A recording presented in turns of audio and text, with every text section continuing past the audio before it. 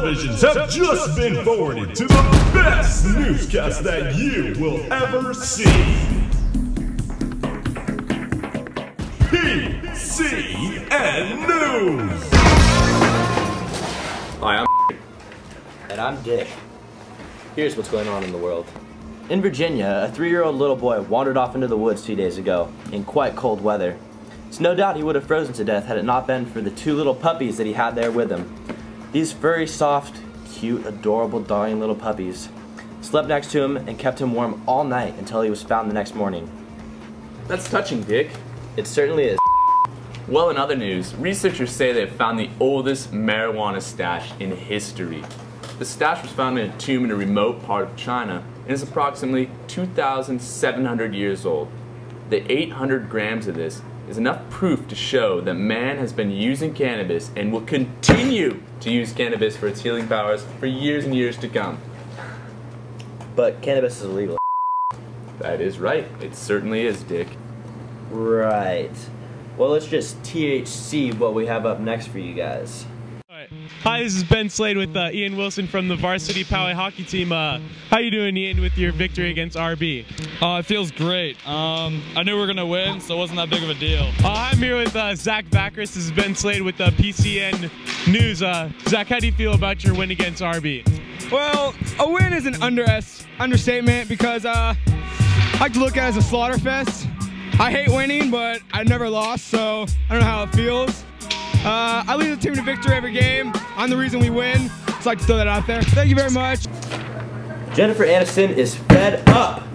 Star and actress of the upcoming movie Marley and Me is sick of all the rumors that are being spread around her. Internet, newspapers, magazines. She's had enough, especially about her being pregnant. She says people need to stop worrying about her and just do other things. Yeah, no one really cares about her anyways, so what's next? You are right. So now we're gonna go down to our good friend Colby, who's gonna give us some news about upcoming concerts. To you, Cubs. Hey guys, I'm Colby, and I got some concerts for you coming up in San Diego.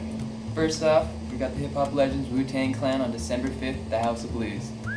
Then coming up, we got the punk guys Rancid coming December 6th at Soma. And December 8th at the House of Blues, we got the All American Rejects coming out. December 15th, we have the metal legends Metallica. That'll be at the Cox Arena.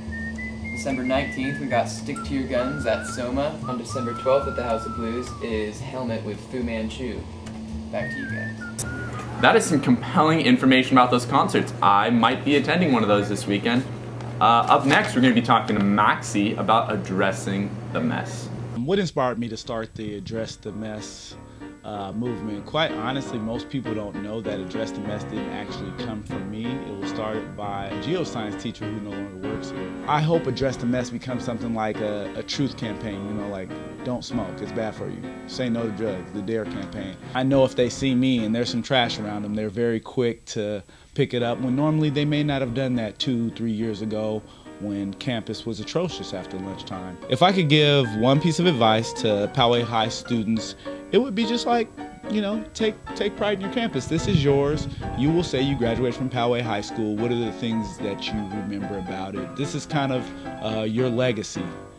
Pride. How much pride did you have in your campus? Have some pride, Poway. Thanks, Maxie. Next up, we have our surf report. What's up? This is PCN Newscast here with the surf forecast for the week. As you can see today, not too shabby, a little big, a little mushy, but uh, there should be a fat swell rolling in in a few days. It's gonna be pretty good. About six footers next Wednesday, so surf's up. Uh, November 22nd, you know, we all got up like 5:30 in the morning, head out. Heard it was supposed to be offshore. We head out to 15th Street. It's pretty good. Has some nice size on it. Then we headed up to D Street, got down to Fletcher's, and that's where we pretty much cut it off and just got flat. It was a pretty good day though, you know. Pretty stoked on it. Got some good waves. Back to you guys in the PCN newsroom. Shut up! Shred it, bro. That's some radical stuff, my friend. From all of us at PCN News, have a nice holiday. Remember, we love you here at PCN News, and we're not afraid to let you know that.